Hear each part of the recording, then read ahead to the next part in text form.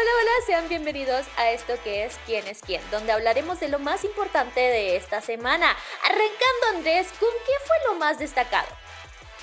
Solid Snake, la serpiente sólida, el mejor junglero hoy por hoy, y lo dice el propio Odi. Él reconoce que su compatriota peruano está fuera de serie, no nada más por las jugadas proactivas, por lo bien que lo está haciendo en las jugadas planeadas, también porque es el que suele sacar las papas del horno por ahí con robos de dragones, de varones, eh, en esas situaciones complicadas, definitivamente es uno de los factores más grandes para que esté en el tope de la tabla.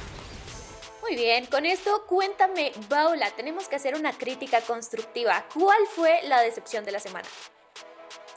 Todo extra, le hemos visto muy mal al principio del torneo a tanto Lesa como Ace. Hace un par de games un poco mejor, Lesa casi todos mal, inconsistentes a la bot lane, Grell también.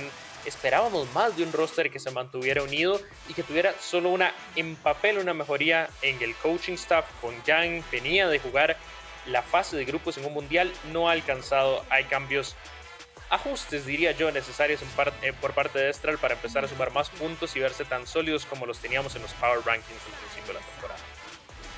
Muy bien, pero terminemos esto en una nota positiva y es justamente descubriendo quién, quién sorprendió esta semana.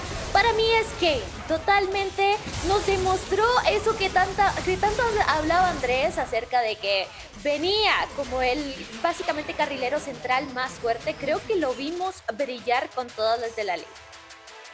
Yo les avisé, les dije, cuidado, escondan a los niños, corran porque viene el devorador de mid laners, Kane.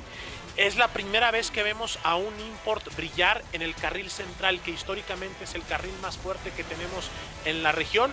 No sé si le va a bastar a Kane solo para llevar a Exten a un campeonato, pero los acercó mucho para vencer a Infinity, que parece ser de, el nuevo favorito.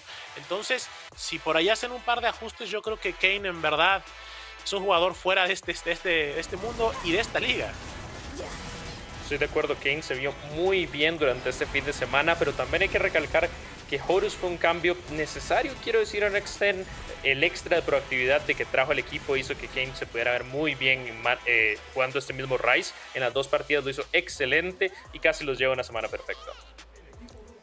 Muy bien chicos, esto fue ¿Quién es quién? Déjenos en comentarios cuál es su opinión y nos vemos en la próxima. Chao, chao.